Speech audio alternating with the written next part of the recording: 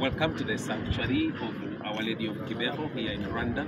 And we are going to visit some of the places here. And one of the places we are going to visit is Our Lady of Sorrows, where there is a church or a sanctuary for Our Lady of Sorrows, and also the rectorate, as well as the apparition chapel. And we shall also have the Rosary's Way and the source of Mary, where they get some kind of holy water. We also have the Way of the Seven uh, Sorrows Rosary, as well as the chapel of the chapel of adoration in the sanctuary here of uh, Our Lady of Kibeho. And thanks to our, our Father Eli here, who has guided us together with his sister Makula, who's behind the cameras, and of course, Brother Christian. Uh, we greet you from this sanctuary here in Rwanda. As you see, uh, eh, number seven is one of the characteristics of this sanctuary. Number seven, of course, referring to Our Lady of um, to the seven sorrows of, of our Lord Jesus Christ, and uh, as well as number seven, which shows theologically number, which is perfection. It's just enough to remember the seven uh, sacraments, seven, a number of perfection. So we see that Mother Mary here in this place appears to his own sons and daughters, his own brothers and sisters in Christ, and has a message as a mother to his children, as he has always had with Jesus, accompanying Jesus in the silence, but also in the words. It's so beautiful that this Our Lady, who is also called the Nina Jambo, the mother of the Word, uh, who is the Word? The Word is Jesus Christ Himself. And uh, this Word, who is Jesus Christ Himself, is the Word which became flesh, incarnate.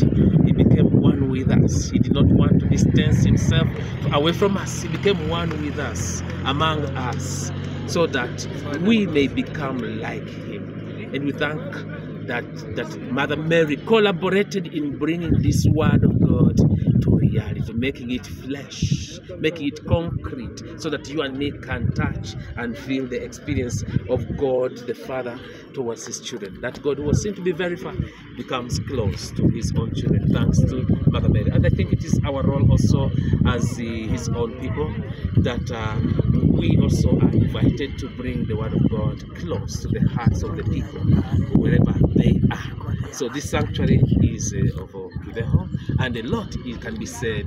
But what is more important is the closeness of a mother towards his children with a message, as we shall see as we get closer to the sanctuary.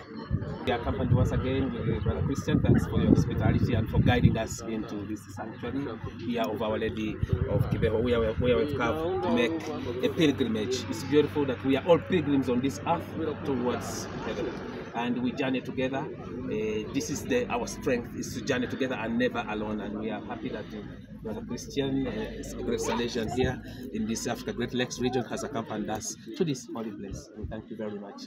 And God bless you. Thank you. Great. Kibeho also continues to accompany us in this holy place here, where many pilgrims have come. We see some of the students around to seek the closeness of Mother Mary. Mother Mary, who is has a big heart for everyone, is close to all of us. And uh, no matter what you are going through, no matter what we are going through, she's close to each one of us. Remember, we talked about the seven sorrows of Mother Mary. And this is one of the prophecies that is said that uh, the sword will pierce your heart. The sword will pierce the, the heart of Mother Mary. When we go to Calvary, we see Our Lady of Sorrows with the sword piercing her heart. Meant that, yes, as Jesus came into the world as a savior, there were many beautiful joys that any mother could go through. And Mother Mary felt it because she would see her son performing many miracles, and that was beautiful and lovely. But there were also many painful moments that she faced when she lost Jesus, but especially towards the last days of Jesus' own life, during the passion, death, and resurrection, with all the humiliations that Jesus went through. As a mother, for sure, she felt bad, though she kept all the things in her heart because she knew that great things are going to happen. Great things are going to happen to her son Jesus Christ. She trusted that great things will happen through Jesus Christ. That even if there are humiliations, even if there are pains, even if there are crosses to carry of her son, there will be victory at the end of the story. So, my dear brothers and sisters, no matter what happens to us, we may go through pains and sufferings and humiliations, but that's not the end of everything. The Lord is with us and He accompanies us in every moment because there's nothing that can escape His own heart because He's a God who makes the impossible possible. Now, a beautiful story about this place here in Kibeho, which takes place right from around 1981, around that time, uh, when Mother Mary begins to appear, to have a message. She has been appearing in many places, in Lourdes, in Fatima, and in many other places, and she chooses here in Africa to appear in Kibeho, here in Rwanda, with a message which is beautiful as a mother who wants her children happy and is accompanying her children. And one of the messages she talks about is the message of conversion. And she does this by appearing to uh, some of the students, some of the students in the school, which is here. And so one of them is Natalie. And one of the messages that she talks about is conversion, a call to conversion. And uh, this is the message she passes through this student. And this is, shows us that Mother Mary, or our God, works and speaks through you and me. She he reaches through you and me. His message of conversion, his message of good news continues to go through you and me. A God who is invisible becomes visible and can be able to express himself visibly through you and me. My brother, my sister, you have a message of good news to share with everyone. And that's our mission wherever we are at school, in work, at place of work, wherever we are, we have that message of spreading the good news, a message of conversion, a message of change of heart, a message of being happy, a message of good news. Am I a messenger of good news or am I a messenger of bad news? And one of the key messages here, she says, she calls people to conversion because she foresees that if people do not convert, there will be catastrophes that will happen. There will be a blood that will be shed. And so she starts appearing to the to the students and uh, communicating this message. And when she appears to one student, of course, many of the other students do not even accept this. She, they don't accept that uh, this Mother Mary has appeared. But this child, this student, uh, in simplicity, presents the message of what she has heard from Mother Mary, the call to conversion. And even actually, some of the students who were actually trying to to to to knock, to mock, to mock or to challenge uh, this uh, one of the students was Natalie. One of them also receives the apparition afterwards those who are challenging and trying, no, it's not true, it's not true, it's not true, you are just forging stories. Those who are trying to, they realize that the same people who, who were actually trying to be against the, the apparition, Mother Mary appears to them as well. This is a powerful message a powerful message that proves that really she appeared. And they also change their hearts. They change their hearts. And they continue spreading this good news of what Mother Mary is speaking through them. And this is a, beautiful message to keep in, in this sanctuary also. And we see Natalie in simplicity passes on this message. She does not keep it to herself. She passes it on to others. And the Mother Mary continues to and making many appointments. And one of the appointments that she will come, she even says she, she loves one song. One song. She, apart from calling herself that she's the mother of the world, she says she loves one song, which is in Kinyarwanda. And she loves it to, she loves the song to be sung. But it's beautiful that this word, Nyina wa Jambo, mother of the world, for a person who never started, it was something unthinkable that you have such a theological concept of the mother of the Word, because the Word is Jesus Christ, the Word made flesh. The Word, which was invisible, becomes flesh. So that's why when they were trying to see whether this apparition is true, the many theologians look hearing from this uh, the, these, these, these ladies, these girls who had received the apparition, especially uh, when he was referring to Mary as the mother of the word, were saying, How did you know this word? The woman, the, the, the, the mother, the the student who had never gone to school at that time in the sense of studying deep theology, he was of course just starting his, his uh, studies, is able to define as the mother of the word that was already a clear message. And so to show that there's something beyond, because such a student wouldn't have known that that concept of mother of the word. So we see the apparition continues here, and when she appears, we see that one of the, the students with Natalie seems to be very focused focused on our lady at a particular time that she had promised and we see that she's focused. And even if they were trying to even pierce on her eyes there nothing would blink. She was so focused on our lady and even psychologists, when they were trying to also evaluate this uh, they found out that uh, really everything, humanly speaking, was okay. It was not like a dream or a fantasy. Everything was okay. Her mind was okay, and uh, everything was programmed as she was saying the words. Even the apparition, the moments, the moments even in which the rains even came as a sign to show her closeness to to the people, to show that really it is the Mother Mary speaking to her children, calling them to conversion. And this was foretelling even what would come later on as the genocide. A very painful reality that took place, especially beginning in the 90s, 91, 92, and had a climax in 94, where many, many, many people lost their lives. Remember, she was calling for conversion. Conversion, and the people who are hard hearted, eh, that's what came up after. That people now started killing each other the, she had over foretold the blood which would flow in the rivers, and the blood started flowing in the rivers between 90s, 91, 92, and finally 94.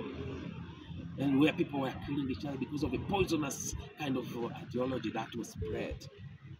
And because people were hard-hearted at that time, some most of the people. And they were hard-hearted, and they imagine human person how he can be hard-hearted. Am I a person also who is hard hearted? Or I'm a person who allows my heart to be converted from what is bad what is good? A good person, a human person, a normal human person will not do evil to another person. And today's world, we see many of these forms of injustice taking place. We need to pray for peace.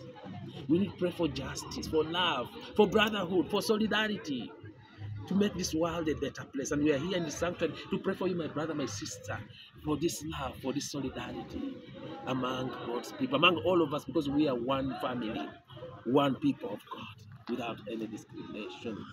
So we see that at this moment, what Mother Mary foretold before in the 81, 82, 83, when it is fulfilled, because people had become hard hearted, is fulfilled when people start shedding blood.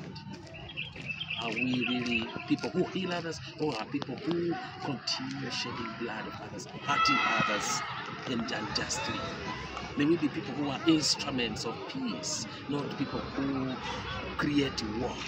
Our world needs healing. Our world needs peace. And we are here to pray for all those people who are disturbed in, in their peace, who don't have peace of heart, no peace in their families, no peace in their countries. This is a place here in the sanctuary. We are going to pray for you that Mother Mary, through the intercession of Mother Mary, she may intercede towards her son so that we may experience this peace, especially this land which receives us, this beautiful land of Rwanda, but all the lands of African continent and in the world.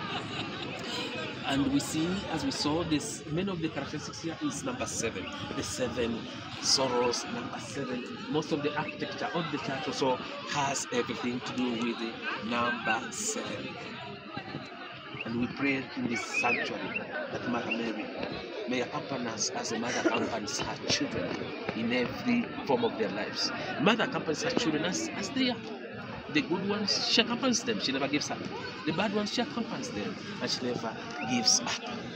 May we be like mothers with a big heart who accompany others as they are. This is our this is our mission. This is the great gift. We are called to love. We are called to forgive. We are called to reconcile. We are called to make this world a better place so that we make this world a peaceful and loving world where everyone can feel at home, where everyone can be a brother, a sister, a friend, a father, a mother. And Mother Mary teaches us all that when she contemplates and keeps all these things in her heart. There are many things she couldn't understand immediately. She kept them in her heart, not in her mind to break her mind. No, she kept them meditating them on her heart because in due time, even as St. John Bosco would say, in due time, some of the things are understood. Some of the things we do not understand them immediately. Some things we understand them in due time.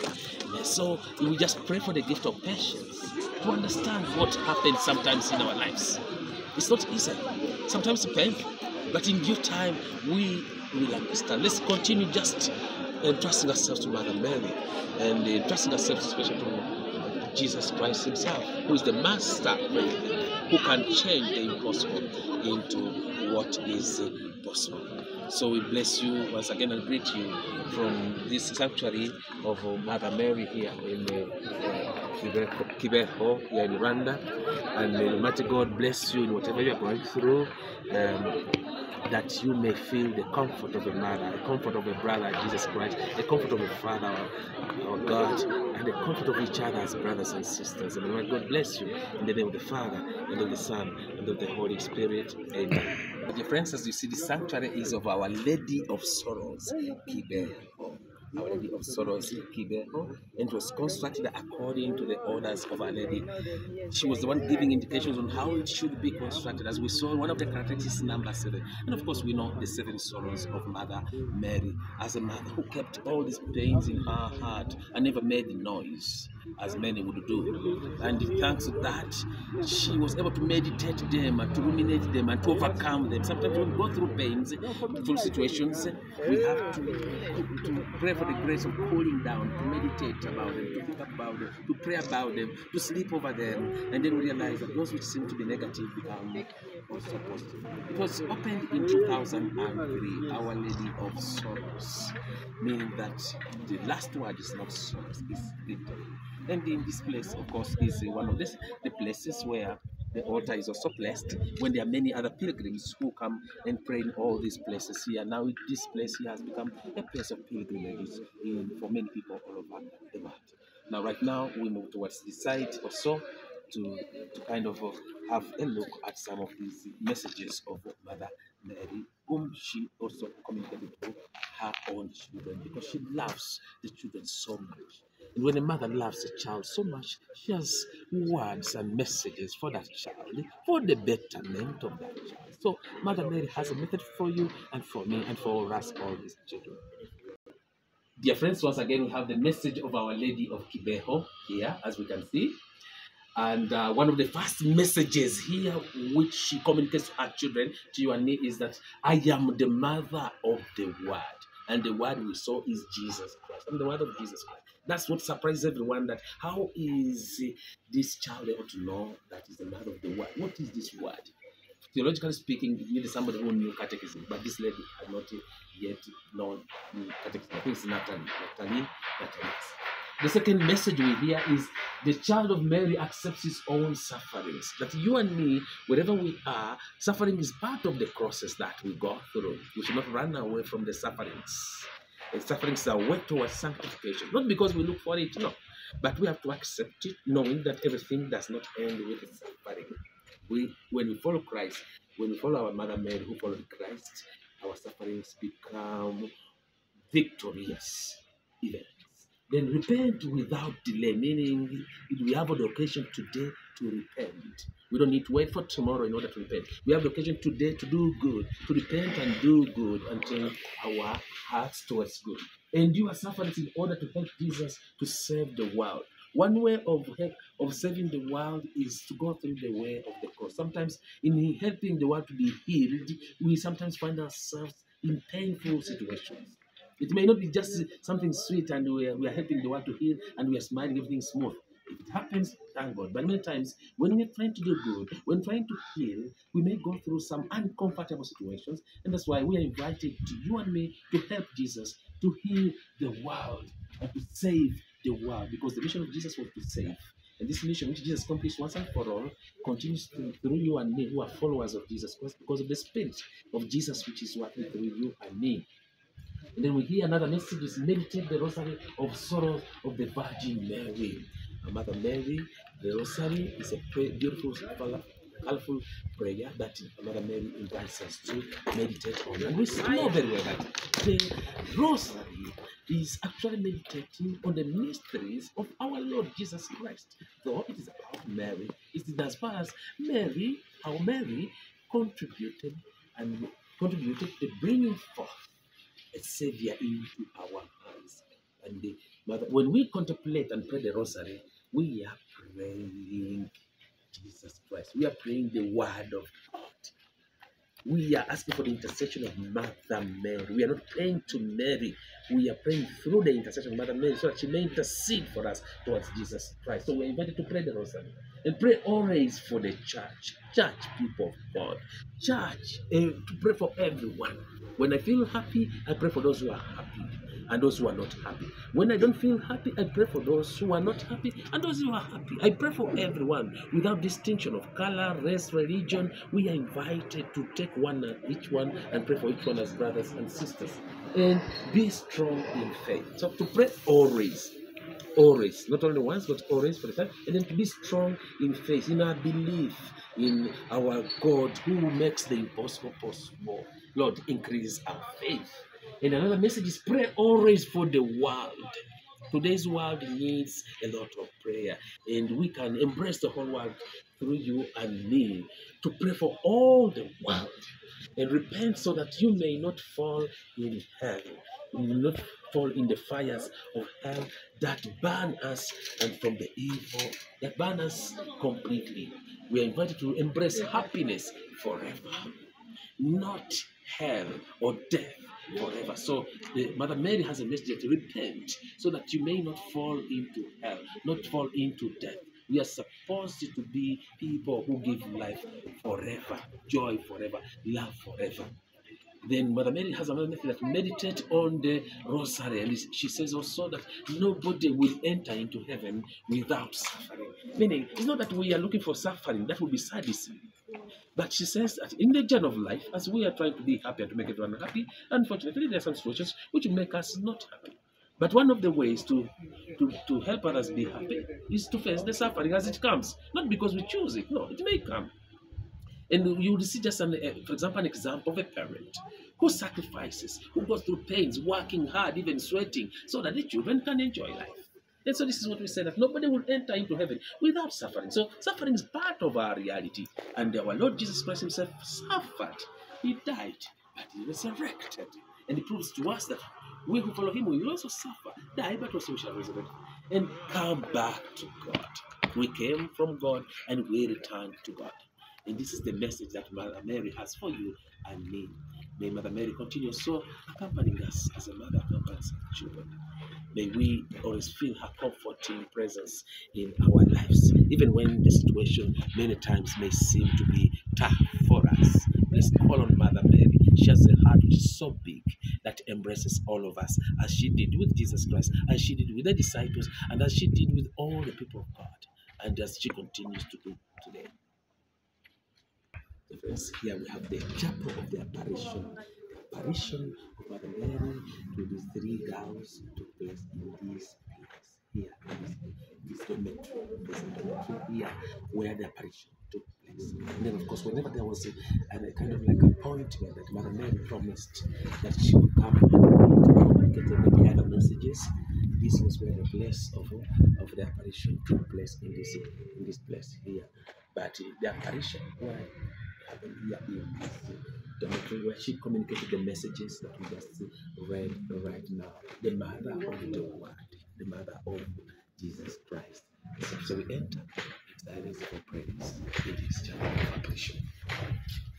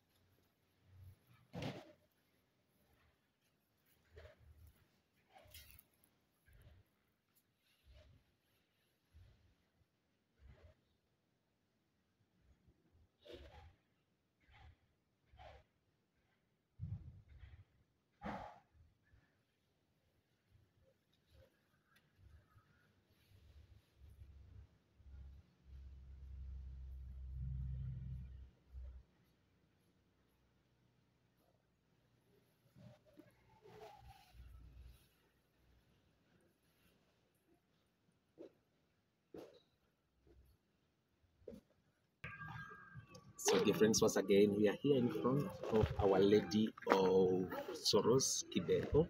And this is the typical sign of Our Lady of Sorrows of Kibeho. It's a sign of pointing high, sign of prayer, sign of prayer, sign of contemplation, sign of meditation. And she's inviting us to always point high, to pray, to raise everything to God on high, to pray, to offer everything to God, not to pretend to solve everything alone. And as we saw already in the background, the the apparition in the dormitory where she appeared to the to the students. And right now, one of uh, those who received the apparition, Natalie, she stays in that uh, room over there, in that place there. Uh, just where she stays. She's praying for sure right now. I'm praying for you and me, and we too are joining her. And we're joining uh, all people in the world to pray for peace. And we're praying for you, my dear brother, my sister. and Whatever you're going through, we are praying for you here in this sanctuary of Our Lady of Sorrows, Kibeho, Rwanda. God bless you. May God console you, comfort you in everything that you are going through. And may we continue pointing everything back to the Father. Everything which begins from the Father. May we also always orient everything to the Father who knows why things happen the way they happen and who knows how to draw good from those situations which may not necessarily be good. God bless once again the sanctuary of the Father, the Son, and the Holy Spirit.